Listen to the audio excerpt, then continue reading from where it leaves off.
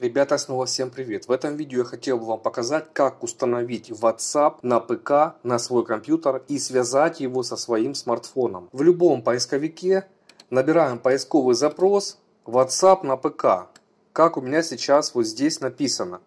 Дальше, в результатах поиска вы найдете официальный сайт, я прям ссылку оставлю на него в описании.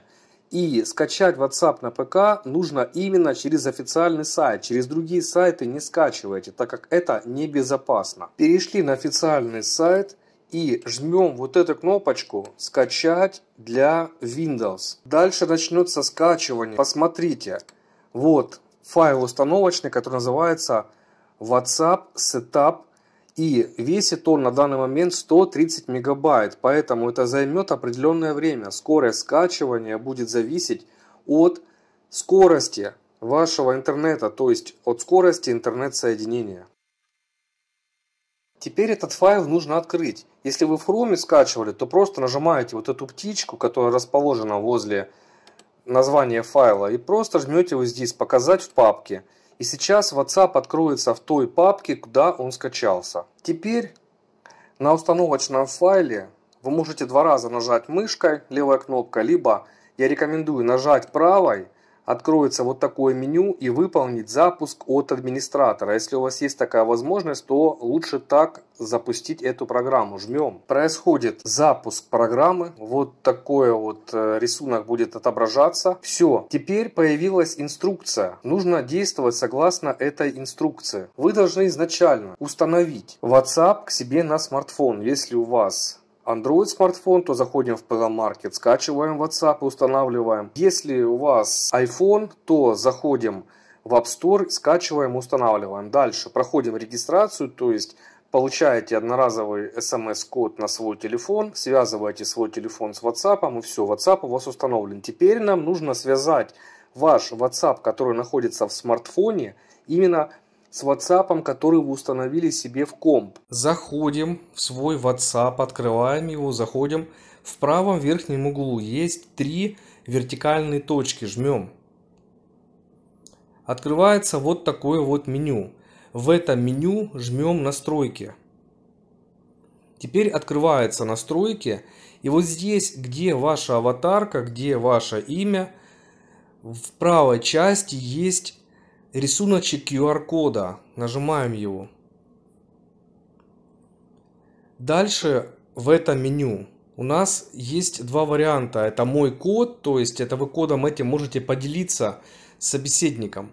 А нам нужен вариант сканировать код, поэтому жмем сканировать код. И вот посмотрите, в компьютере уже QR-код устарел, поэтому нажимаем обновить QR-код обновляется, дальше просто наводите, он автоматически, э, он автоматически сканируется. Жмем кнопку «Далее».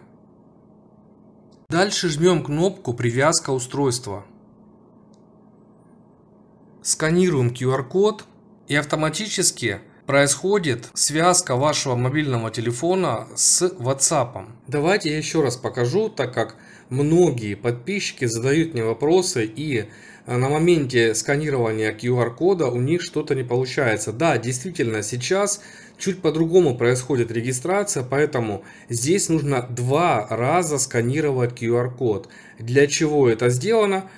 Для, наверное, каких-то целях больше безопасности.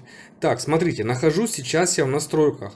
Там, где ваша аватарка, там, где ваше имя, опять жмем на Э, рисунок QR-кода, вот он, жмем. Здесь выбираем меню «Сканировать QR-код». Выбрали. Появился вот этот вот сканер. Теперь его наводим у себя в компе на QR-код, который в компьютере. Все, навели. Теперь появилось меню. Вот здесь жмем «Далее». Все, это вы сделали, первый шаг. Теперь жмем кнопку привязка устройства. И теперь еще раз сканируется автоматический код, видите? То есть я телефон не убирал никуда, он у меня автоматически ну, в этом же месте сосканировался. То есть два раза нужно навести на QR-код, имейте в виду. Сразу же происходит автоматическая связка, то есть Открывается ваш WhatsApp на компьютере, подгружаются контакты из телефона, подгружаются чаты, переписка и так далее. В принципе, все, связка произошла, все отлично. Друзья, надеюсь, все доступно и понятно объяснил. Еще раз повторюсь. Нужно отсканировать код два раза.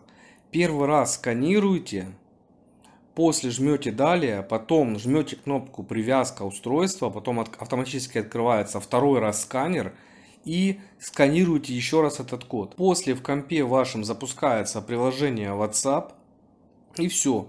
И вы можете нормально его использовать.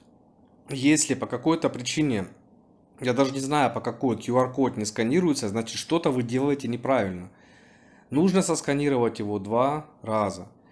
Но на всякий случай, если вдруг уж не сканируется, то удалите WhatsApp со своего смартфона и заново его переустановите.